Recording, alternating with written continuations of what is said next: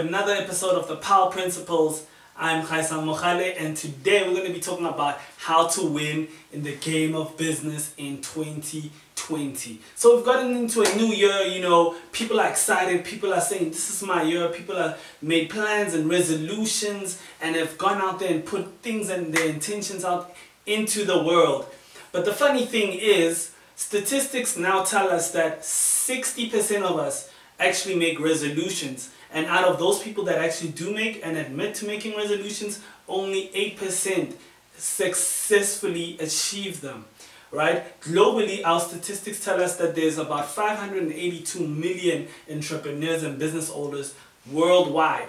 And we now know in 2018, only 9% of business owners were able to make revenues of a million dollars or more. So what is the key to getting to that 10 top 10% even the top 1% entrepreneurs that are making 10 100 million dollars and above per annum. That's what we want to talk about today and i truly believe that there's really just four simple steps that we need to take. I realized that you only need to do four important things and I believe it will help you as well to make this the year your business, your career, your professional career and business becomes a success. Okay, so step number one, we're going to be talking about stating your objective. You need to set a very clear target for what you want to achieve. For example, you may want to say, okay, I want to increase my revenues by 20% per month this year. Or you might say, hey, I want to double my revenues and sales. Last year I made 500,000. This year I want to make a million. Last year I made 5 million. This year I want to make 7.5 million. You know, you told might say, hey, I want to increase my sales by 30%, 50, 80%, 100%. You need to set a very clear target and objective. Now, your target and objective needs to be specific, it needs to be measurable, and it needs to have a deadline. So saying something like, I want more customers, or I want more cash, or I want more money is not going to work. You got to have to say something that is specific and also has a deadline. So for example, you want to make $1 million in the next 12 months. That's a specific goal, measurable, and also has a time deadline of 12 months, right? So let's work with an example here. Let's talk about somebody, let's say Mr. Jumbo, and Mr. Jumbo has a Jumbo hardware store, and he sees that last year he made $1 million. So this year he says, you know what, I want to double that. So he, his goal, his objective would be, I want to make $2 million in the next 12 months. Okay, so that is step one, a very clear objective that is specific, measurable, and has a time deadline. Step number two is about diagnosing what's working and looking for your 20%. You need to look through your assets, your products, your services. You need to look at your sales processes and your conversions and find out what's currently working, what's currently bringing in the most amount of money and then focus on your 20% multiplier. So you've probably heard of this principle called the Pareto principle, which is the 80-20 rule, some people call it, coined by the Italian economist Vilfredo Pareto. And this rule basically states that 80% of your results come from 20% of your activities or 20% of your efforts. 20% of your efforts bring 80% of your results. So in business and in layman's terms, what that means is that most of your sales are coming from a few of your products and services. Most of your customers are coming from a few of your activities that you're actually doing.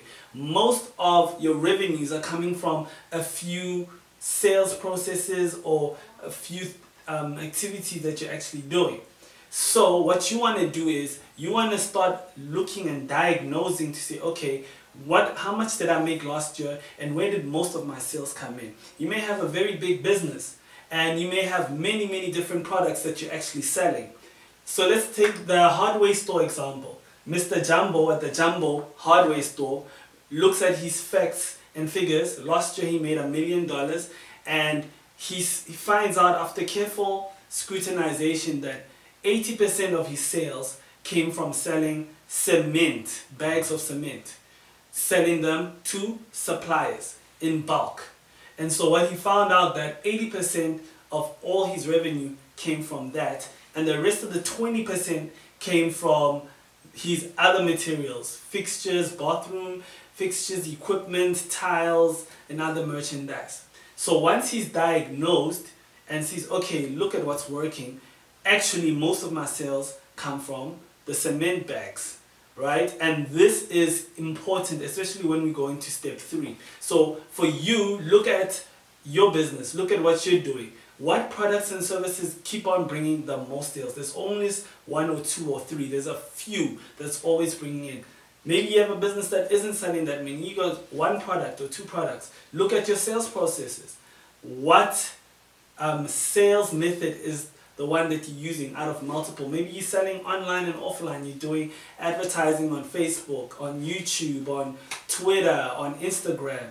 Maybe you're also doing offline on billboards. You're advertising on television, news newspapers and magazines, radio slots, for example. Look at all your processes and how you're trying to get customers and turn them into sales. And, and, and find out which one is bringing in the most sales because there's always going to be one that's bringing in the most because of this Pareto principle. Look at your customers. Figure out which of the two is actually bringing. Is it customers that are buying, that many customers are buying more, or is it a few, is it more that the businesses that are buying more in bulk? And look at the businesses and decipher which few customers are buying from you. It's very important to diagnose with what's already working because in step three, we want to start putting fire on that. We don't want to recreate the system. All we want to do is take what's already working and actually create and add that fire and add that and put that petrol on that fire. Okay, now we're going to go into step number three. Step number three, we're talking about selecting your one thing. I get this concept from the book called The One Thing, which I really strongly recommend every single entrepreneur and leader and executive needs to read this book. And in this book, the authors argue that success is sequential and not simultaneous. You actually produce more and make more by doing less. So what you want to do is, step one, we stated our objective. Okay, I want to make $2 million in the next 12 months. Step two, you've diagnosed what's already working and you've looked for your 20%. So you said, okay, fine. Mr. Jumbo checked it out, checked it out and said, hey, my cement bags are bringing in 80% of my sales. Then we go into step three, selecting your one thing. It's as simple as just putting more petrol on what's already working and channeling your focus. There's this, if you think about how a magnifying turns sun rays into a fire. Until something focuses those rays, that sun will always be just beating on the ground. But if there's a focus, like a magnifying glass, in one spot, that turns into a fire, that can turn into a gigantic veld fire. In the same way, you need to look at this one thing, at the most two, but I really recommend you look, choose one thing that's going to be your focus for the year. This one product that's bringing in more sales. This one sales process that's bringing it. Is it online or offline? If it's online, is it a specific medium or a specific platform? Is it Facebook ads? Is it YouTube? Is it Instagram? Is it Twitter? Or is it other platforms? You know, is it guest blogging? Whatever it is, and you say, this is going to be my main focus because it's already brought that much more customers and money into my business. You look at your customers Who's buying from you? Is it men? Is it women? Is it elderly? Is it younger demographic? And you say, older demographics, men of between 40 and 55 years old, and these are the guys who buy the most from me. And you just keep on saying, okay, this year I'm going to focus on these people. This year I'm going to keep selling to these people. And if you make this your focus for the year, then that's when you're going to start seeing gigantic leaps in your sale. It doesn't mean that you leave out all your other sales processes. It doesn't mean that you leave out all your other customers or products and services. What it does mean is that you have a focus for most of what you'll be spending your time for that year. 80% of your time should be spent on your one thing.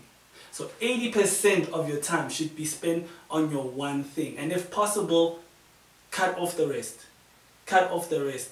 I remember the story of how Steve Jobs came back after leaving Apple for 10 years and he cut down Apple had over a hundred different products and he cut them down to about it was less than 20 and that's when Apple started seeing changes again. It's about cutting down. Actually earn more by doing less and focusing on a few products and a few processes. There's another example of an entrepreneur that I follow who uses who had one product a premium product and used one sales process and in two years grew his business to $65 million.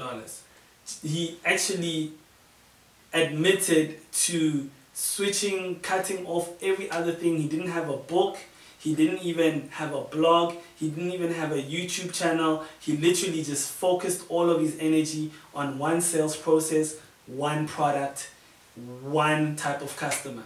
And his business exploded.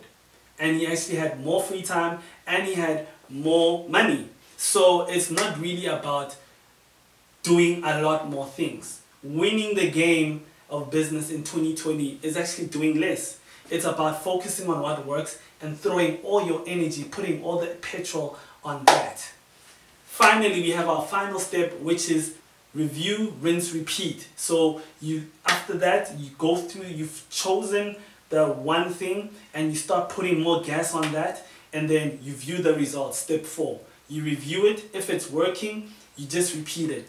If there's a glitch, maybe you can improve it, you tweak it, you tweak it. Mr. Jumbo figures out that he's going to sell more bags of cement to businesses, to construction companies. And so he says, I'm just going to make a list of 100 construction companies all around the country and internationally. And I'm just going to market to them. I'm just going to sell to them. That's all he's doing. Using the same method of how he got his current customers. And doing that, he reviews and sees, is this working? Can I make it better? And he just continues to do that. He just rinses and makes it better. He makes it more efficient. How could he even be of even more service to these construction companies? If you do these four steps, I guarantee you, you will start to see huge improvements in the way your company makes its revenues and also how it succeeds. Thank you for watching this episode. I hope you really found it helpful. Don't forget to subscribe, share this, and also leave a comment. I read every single comment. And if you're a serious entrepreneur who wants to take your business to the next level, I have a free gift for you. Head on over to gaisangconsulting.com. I have a gift where it shows you a marketing system to really draw new paying clients and also increase your profits. Head on over to gaisangconsulting.com. I'll see you.